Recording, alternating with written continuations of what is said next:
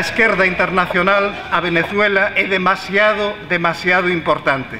Nos soa todo a cualquier golpe de Estado. O golpe de Estado de Franco, o golpe de Estado de Chile, o golpe de Estado de, dos fascistas de todo o mundo, do fascismo comercial que neste momento está tentando facer que a Venezuela aparente no mundo como algo eh, fantasmagórico, como algo incontrolável, como algo que unhas eleccións que parece ser, segundo di Prisa e segundo din os grandes meios, non son as que deberán ser. Resulta que nós, desde Europa, decidimos que ainda temos que continuar dando clases de como debe ser a democracia.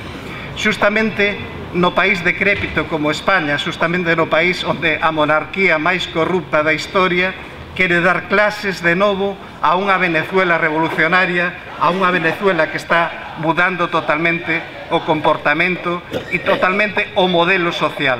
A Venezuela é neste momento un exemplo a seguir. Sabemos que existe ese golpe silencioso, ese golpe que vai destruindo pouco a pouco a sociedade, ese golpe que non permite ter, ter papel higiénico, ese golpe que non permite que o día a día sexa realmente duro. Con Chávez de Maduro, o povo está seguro.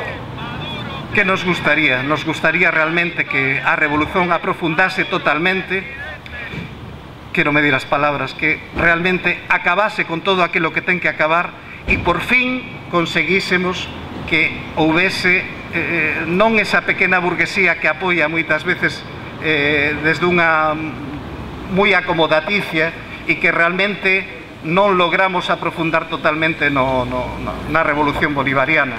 Queremos apoiar absolutamente o povo venezolano, queremos apoiar absolutamente a Nicolás Maduro, queremos condenar esas intervencións de España, que son continuas, ese complexo de superioridade español e queremos estar sempre coa Revolución Bolivariana. ¡Viva Venezuela! ¡Viva! ¡Viva Revolución Bolivariana! ¡Viva!